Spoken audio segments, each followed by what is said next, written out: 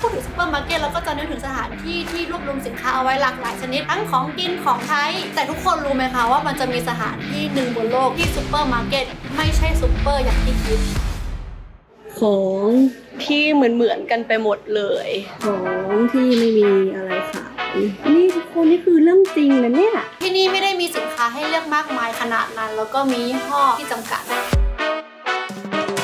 ไปไม่ได้ที่มันจะไม่มีขนมขายอะโอ้โหทุกอย่างคือใหญ่สุดจริงเป้าพี่ Yeah this is the biggest one อันนี้ไม่ใช่ใหญ่สุดหรอกข้อมูลทุกอย่างคือผิดเพี้ยน เฮ้ยกระเป๋าเดี๋ยวเขาอะในคลิปนี้นะคะ เราจะพาทุกคนไปซูเปอร์มาร์เก็ตที่คิวบา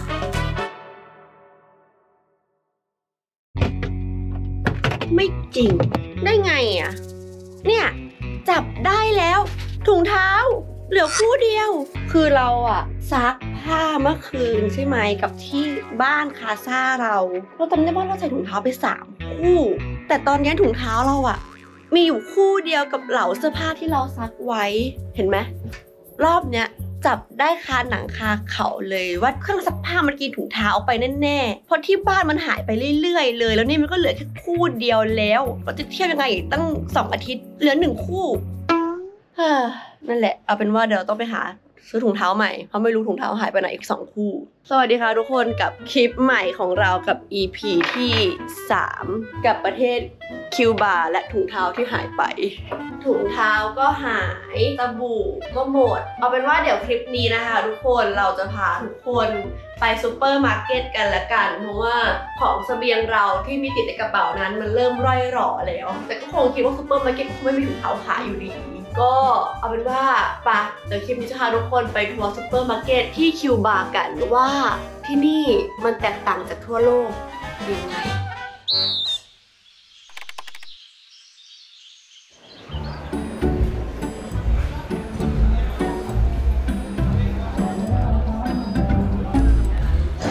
ดีกลับสู่ความวุ่นวายอีกครั้งหนึ่ง ก็เดี๋ยววันนี้เราจะไปซูเปอร์มาร์เก็ตกัน แต่ว่าเราก็ไม่ได้อยากจะแบบว่าพาไปที่มันแบบโอ้ลำบากแบบเดี๋ยวจะเห็นกันไม่จริงว่าเฮ้ยของดีจริงๆอะเขาก็มีนะ อย่างเช่นซูเปอร์มาร์เก็ตที่เราจะไปนะคะ ก็คือซูเปอร์มาร์เก็ตที่ใหญ่ที่สุดในเมืองฮาวาน่านะ ก็เดี๋ยวจะไปดูกันว่าเป็นยังไงนะคะแต่ว่าวันนี้เราไม่ได้มาคนเดียว เพราะว่าเรามากับสวัสดีคุณจ้ะ ก๊อฟมาเยือน กลับมารวมตัวกันอีกครั้ง บอกคนดูซิเผื่อเขาคอมเมนต์ว่า ทำไมไปเที่ยวด้วยกันไม่เห็นจะเที่ยวด้วยกันเลยครับ เออเรารู้สึกว่าเราอยากถ่ายรูปแล้วพลอยก็อยากทำคลิปอะไรเงี้ยก็คือการถ่ายรูป street street เออมันอุ้ยสวย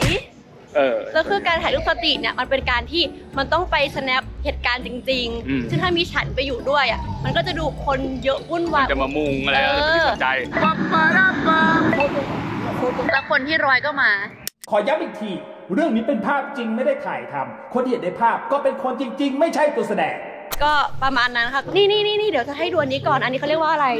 อันนี้เขาเรียกว่าซูเปอร์มาร์เก็ตของคน local เออแต่ว่าอันนี้ นักท่องเที่ยวไม่สามารถซื้อได้ อันนี้คือตัวอย่างของซูเปอร์มาร์เก็ตของคน local นะคะ ก็คือการที่ข้างในก็จะมีเหมือนตารางอาหารแล้วก็ราคาที่จะถูกกว่าทั่วไปเลยนะคะ เพื่อที่โบโลโคจะได้ซื้อของที่ราคาที่ดีกว่า แล้วก็เป็นการจัดสรรจากรัฐบาลว่าเอ้ยแต่ละเดือนเนี่ยจะได้ซื้ออะไรบ้างได้อะไรกันบ้างผู้ชมว่าหมวกสวยค่ะเดนหมวกสวยหมวกสวยอ๋อ thank you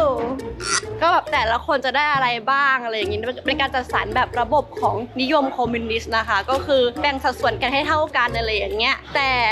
เห็นเมื่อวานอะไกด์ที่เราไปเที่ยวด้วยกันมาเขาบอกว่าหลายๆคนอะแทบจะต้องมายืนรอซื้อของแบบนี้ทุกวัน เพื่อซื้อแค่ขนมปังนะคะ ก็คือน่าจะเป็นการซื้อแบบกินวันต่อวันอะไรเงี้ยก็รู้สึกว่าอาจจะไม่ค่อยสะดวกสบายหรือเป็นระบบที่เราไม่ค่อยคุ้นชินเท่าไหร่ แต่ก็เนี่ยแหละค่ะคือการใช้ชีวิตระบบของการซื้อของของประเทศนี้นะเดี๋ยวเริ่มต้นวันใหม่ด้วยการที่เราจะไปแลกเงินที่ตลาดมืดกันพูดให้น่ากลัว จริงๆ แล้วก็คือแลกเงินที่ร้านอาหาร ซึ่งถ้าใครอยากรู้ว่าทำไมต้องแลกเงินร้านอาหารแล้วมันเป็นมายังไงในการแลกเงินที่นี่แล้วมันแปลกยังไงนะคะไปดู EP หนึ่ง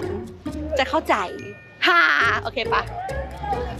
และแล้วก็ถึงช่วงต่อราคามหากับทะเลาะวิวาท เอ่อ แท็กซี่เท่าโข Palco. Okay, ซู come เปอ on. ร์มาร์เก็ตเท่าโข Let's go. Gelauto, come on. จุดนี้นี่ไงเราจะเจอคนนั้นอีจะกเอาแล้ววะชิ้นสายฟ้าอีกรอบเหรอวะ คือที่นี่เขาจะค่อนข้างบวกราคากับนักท่องเที่ยวไปเยอะนะคะ เราจะต้องทำการต่อสู้ชิงราคาที่ถูกต้องเท่าโข Ah, supermarket. Yeah, Ah, supermarket. supermarket Palco. Eh, 20. Sería เทเวนตี้ 20. ยี่สิบสิบไหมเค้นเทนไม่อันนี้มันเป็นแท็กซี่ออฟฟิเชียล Oficial. ฟิฟทีนป่ะ can go ahead. Fifteen? Yes, that's it. ฟิฟทีน My friend, the point is far away. Even you can check on the map. Ah. We've been in all Havana. We gotta cross Havana Center, Colvedado, and at the end of the next is Miramar, Miramar. located there. You can check by map. me.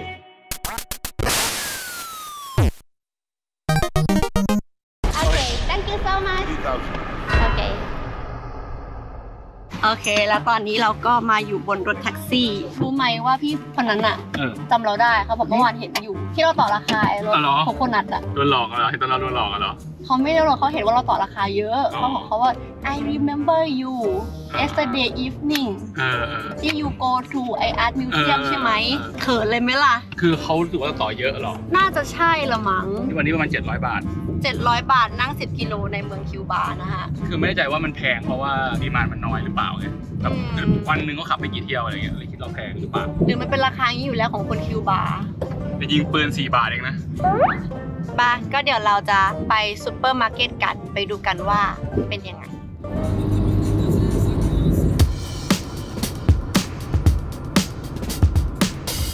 เฮ้ยโคตรมันหลายคนอาจจะคิดว่า โอ้ที่นี่มันจะมีสถานทูตอเมริกากันได้ยังไง เกลียดกันขนาดนี้ นี่นี่นี่สถานทูตอเมริกา มีถุงอเมริกาอยู่ตรงนี้นะฮะ อ๋อ นี่ถึงแล้ว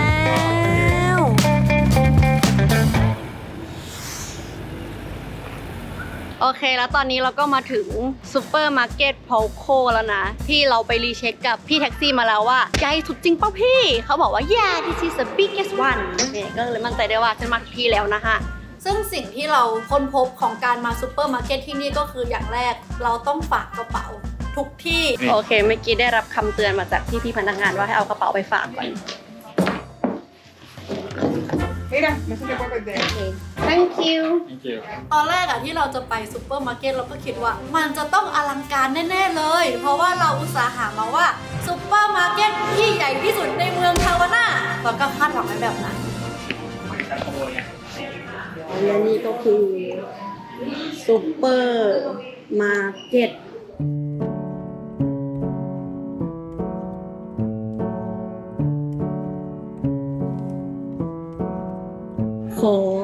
ที่เหมือนเหมือนๆกันไปหมดเลย จังหวะแรกที่เข้าไปก็คืองงว่านี่มันคือซูเปอร์มาร์เก็ตที่เรามาจริง ๆ ใช่ไหม ของที่ไม่มีอะไรขาย นี่ทุกคนนี่คือเรื่องจริงนะเนี่ยโอ้คือแต่ละอย่างไม่มีแบรนด์อื่นให้เลือกเลยทุกคนสมมุติว่าคุณจะกินของดอง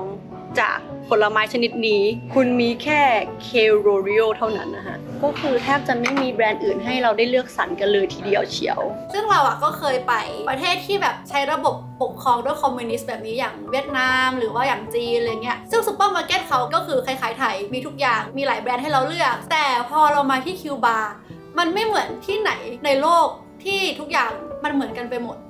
อันนี้คือมันไม่ใช่ซูเปอร์มาร์เก็ตที่แบบขายของแค่แบรนด์แบรนด์เดียวแต่มันคือเป็นอย่างนี้อยู่แล้วทั่วประเทศนะคะ เพราะว่ามันเกิดจากการที่คิวบานะคะโดนสหรัฐอเมริกาคว่ำบาตรเนาะก็คือปิดกั้นการนำเข้าของอเมริกาทุกประเภทเลยนะ ก็คือเราจะไม่ได้เห็นแบบว่าแบรนด์ของอเมริกามาวางขายที่นี่เลยนะแล้วก็บวกกับที่ว่ามันเป็นประเทศที่ใช้ระบอบคอมมิวนิสต์เนาะเพราะฉะนั้นนะแบรนด์สินค้าต่างๆหรืออาหารน่ะมันก็จะถูกควบคุมโดยรัฐบาล ซึ่งสินค้าพวกเนี้ยที่ถูกวางขายอะก็ถูกผลิตเป็นของรัฐบาลหมดเลยนะคะ เพราะฉะนั้นตัวเลือกในการซื้ออาหารของคนที่เนี่ยก็จะน้อยมากๆ ก็คือจะมีแบรนด์เท่านี้เท่านั้นที่เขาสามารถซื้อ กินได้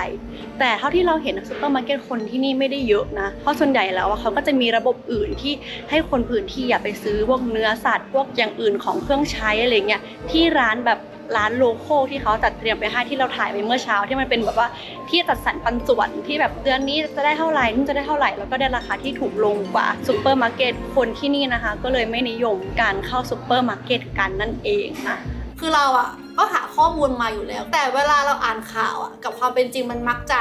ไม่ตรงกัน มันก็เลยค่อนข้างที่จะเซอร์ไพรส์เราว่า เออสิ่งที่เราอ่านมาจากเน็ตกับสิ่งที่เราเจอ มันเหมือนกันเลยว่ะ แล้วฉันจะหาแชมพูได้ที่ไหน เออ excuse me I want shampoo Perfumería. อ๋อเอา outside อ๋อโอเค thank you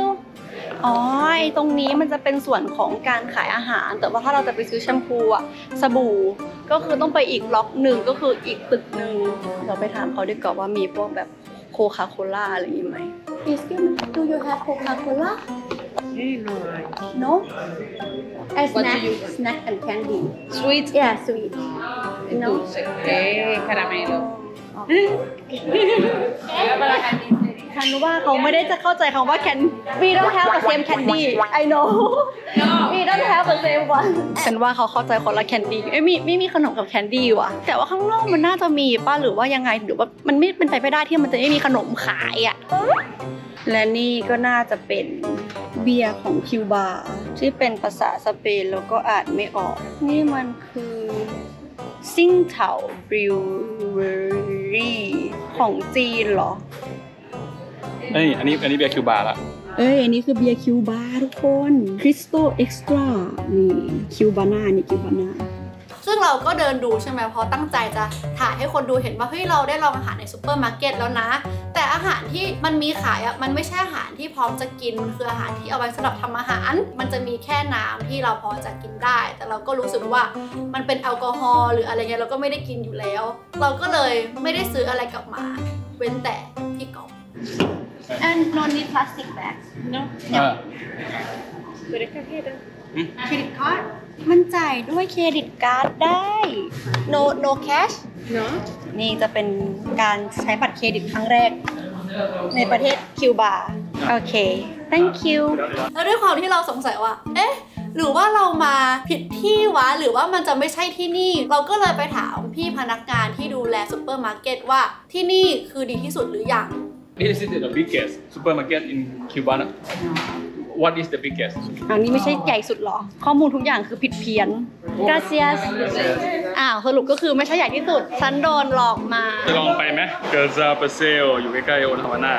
ไปไหมแต่ขอไปซื้อแชมพูเอ้ยขอไปซื้อสบู่ก่อนทำไมเขาถึงต้องให้จ่ายบัตรเครดิตเท่านั้นนะถ้าเป็นซูเปอร์มาร์เก็ตเดานะเดานะอืมรัฐบาลอยากคุมการเข้าออกของเงิน แล้วให้รู้ว่าได้ทำรายได้เท่าไหร่อ๋อเพราะว่าซูเปอร์มาร์เก็ตเป็นที่เดียวที่รัฐบาลไม่ได้คุม ถ้าอย่างแบบที่เราบอกว่าคน local ไปซื้อตามรัฐบาลที่มันเป็นจัดสรรปันส่วน อันนั้นคือสิ่งที่รัฐบาลคุมไว้แล้วใช่แต่อันนี้คือไม่ใช่ระบบนั้นมันก็เลยต้องจ่ายแค่ credit card หรือบัตรเท่านั้นอย่างเงี้ยเพื่อให้ track รายได้ของของร้านค้าได้ร้อยเปอร์เซ็นต์เดานะ เดาเดาเดาเดานี่นี่ไงจุดเสริมสวย เดาได้ว่าคือ perfumería เออแชมพูเออแต่อันนี้มีความหลากหลายอยู่นะทำไมถ้าเป็นในพวกของเครื่องใช้มันถึงเป็นของแบบแบรนด์ global อะนี่ไง shower gel เออแต่นี่ใช้ใช้ได้ทั้งทั้งปีเลยนะเนี่ย have some more เออ no no เฮ้ยกระเป๋ากระเป๋าเดี๋ยวเขาอะ โอเคเมื่อกี้ได้รับคำเตือนมาจากพี่พี่ๆพนักงานว่าให้เอากระเป๋าไปฝากก่อนไม่ตั้งใจกระเป๋ากระเป๋าก็แค่แค่จงใจลืมไม่ต้องตกใจนะคลาสสิกเหนื่อยใจกับตัวเองเหมือนกันนะบางทีจบสิ้นภารกิจซื้อสบู่อาบน้ำจะไปให้สุดเหรอทั้งทีใช่ไหมจะได้รู้ไงเพราะว่าเราบอกคนดูว่าเราไปซูเปอร์มาร์เก็ตที่ใหญ่ที่สุดเพื่อบอกว่าเมืองมันเป็นยังไง แล้วเราไปไม่สุดมันก็ไม่จริงเท่าไหร่อ๋อต้องไปให้เห็นหลายๆที่ว่าที่เราเห็นว่าแบรนด์มันเหมือนกันทุกที่อะมันทุกที่จริงหรือเปล่าเงี้ยเหรอเออไปะไปให้สุดทำตามหัวใจให้สุด เราจะบอกเขายังไงว่าเราจะไปต่อ เขาคงงงว่าอีต่างชาติสองคนนี้นี่มันยังไงวะเนี่ยเอ่อ we change our plan โอเคเอ่อ this is not the biggest mall Did you think uh, this is big bigger? Ka Galería Paseo. Gal- uh, yeah. It's in Paseo, yeah. It is a big bigger. It's, uh, it's uh, like uh, uh, Sato Shopping Mall. It's a building. อ๋อเป็นห้างไปดูไหม Can we go this one first Okay. How much you want to อะไร No, no, the same. อ๋อโอเค thank you โอเค thank you so much ไม่ตอนแรกคิดว่ามาซูเปอร์มาร์เก็ตอะไรเงี้ยแบบเผื่อมีอะไรกินจะมีแบบเออลองชิมร้านข้างในอะไรอย่างเงี้ยเหรอไม่แบบขนมขนมอะไรอย่างอ่าเงี้ยแล้วมันแบบไม่ได้มีเยอะขนาดนั้น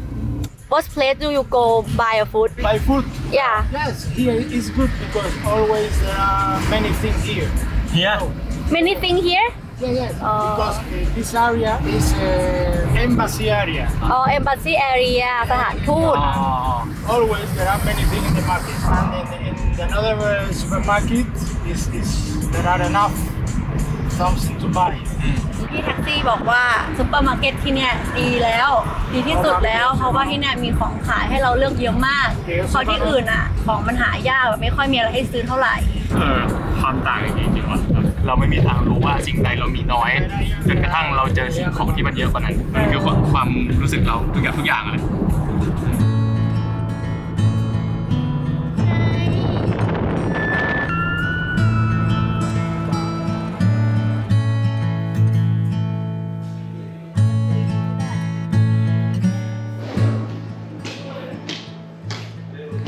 นี่ก็จะเป็นจริงๆมันคือห้างเว้ยมันไม่ใช่มันไม่ใช่ซูเปอร์มาร์เก็ต มันคือห้างที่แบบ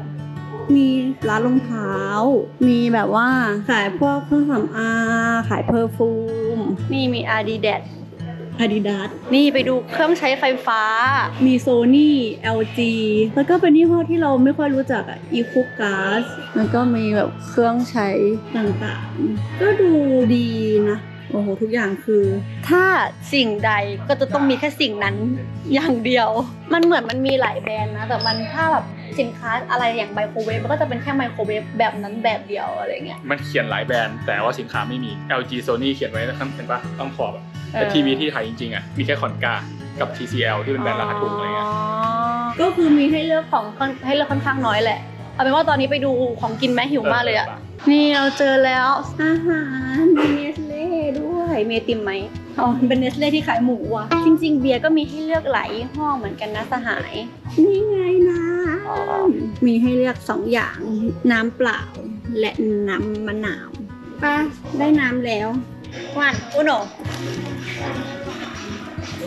thank you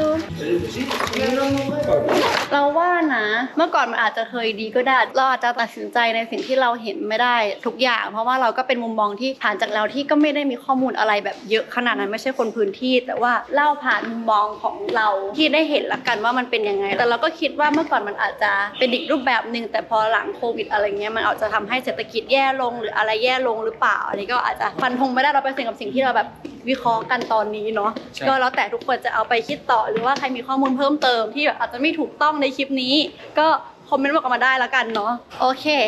ปะเอากระเป๋าและเดินทางกลับที่โอฮาวาน่าโอเค แล้วตอนนี้เราก็กลับมาสู่ย่านเมืองเก่าโอฮาวาน่าอีกครั้งกับร้านที่ดูหรูหราโชว์แก้วซะหน่อยไอ้ไอเนี้ย ที่ดูหรูหราเป็นตัวที่คนเขาบอกเขาว่า ถ้าเจอแก้วอย่างเงี้ยที่แบบเป็นแก้วไวน์ของขนาดส่วนใหญ่จะเป็นร้านรัฐบาลอ้าวก็คือโอกาสโดนอาหารที่ไม่อร่อยอาหาร freeze อะไรเงี้ยอ้าวเหรอ ก็คือร้านอาหารที่เนี่ยจะมีอยู่ 2 แบบก็คือร้านของคนทั่วไปของคนพื้นที่กับร้านรัฐบาล ร้านของรัฐบาลเนี่ยมีเยอะมากตามเมืองฮาวาน่าอะไรอย่างเงี้ยซึ่งคนส่วนใหญ่อยากแบบว่าไกด์หรือว่าคนท้องถิ่นในโรงแรมเราเขาก็จะแนะนำว่าอยากให้เราอะอุดหนุนร้านของคนโลโก้มากกว่า แต่ว่านักท่องเที่ยวอย่างเรามันจะแยกแยะออกได้ว่าแบบร้านเนี้ของรัฐบาลร้านนี้ของคนท้องถิ่นอะมันก็มีสิทธิ์ที่มันดูออกได้นั่นแหละ แต่บางทีเราก็จะไม่รู้แต่ก็นั่นแหละนี่ก็คือเรื่องราวของการพามาทัวร์ในอีกแง่มุมหนึ่งของประเทศคิวบาแต่ว่าความตั้งใจก็คืออยากให้คนได้มาเห็น คนที่นี่เป็นอยู่ยังไง แต่ละมุมมองของโลกเราเนอะว่าแบบเออมันมีแบบนี้ด้วยอะไรเงี้ยเป็นความแตกต่างที่อาจจะดูแปลกสำหรับเราแล้วก็น่าสนใจ แต่ว่าถ้าในมุมมองของสิ่งที่อยากให้เป็นจริงๆเราก็ยังสนับสนุนของการที่อยากให้ประเทศเขามีความพัฒนาใช่แล้วก็คนในประเทศเขาก็รู้สึกว่าเขาอยากให้ประเทศพัฒนาเหมือนกันนะอยากให้ออกไปข้างนอก อยากให้เปิดกว้างกับโลกมากขึ้นอยู่ อันนี้ก็มาแชร์มุมมองขมองที่เราเจอมา มุมมองที่เราเจอซึ่งมาไม่สามารถตัดสินได้ว่ามันเป็นสิ่งที่ถูกต้อง หรือว่าเป็นเสียงส่วนใหญ่ของประเทศนั้นเออๆแต่นี่คือสิ่งที่เราเจอเฉยแต่ถึงแม้ว่าสินค้าของอเมริกานั้นหาได้ยากในประเทศนี้ แต่ฉันกำลังสั่งโคคาโคล่า ซึ่งกำลังงงอยู่ว่ามันมาได้ยังไงๆมีขายทั่วไปด้วยนะไม่ได้ยากเลย มีขายทั่วไปแล้วไอ้ร้านที่เราไปทั้งหมดเนี้ยมันคืออะไร ซึ่งที่เขาบอกว่าสินค้าผลิตแบรนด์ของอเมริกาเนี่ยมันหาได้ยากมาก แต่ในพื้นที่ของเมืองเก่าอย่าง Old Havana เนี่ยแฟนต้าโค้กเป๊ปซี่ หรือของต่างๆ ที่เรารู้สึกว่าไม่น่ามีเนี่ยกลับมีขาย ทั่วไปใช่อย่างใช่น่าสงสัย ก็คลิปนี้ก็ให้ทุกคนได้ลองเห็นประสบการณ์มุมมองใหม่ๆ แล้วก็ไปหาข้อมูลเพิ่มเติมแล้วกันว่ามันมาได้ยังไงอีนักลี่ก็ประมาณนี้คลิปนี้บ๊ายบายบ๊ายบาย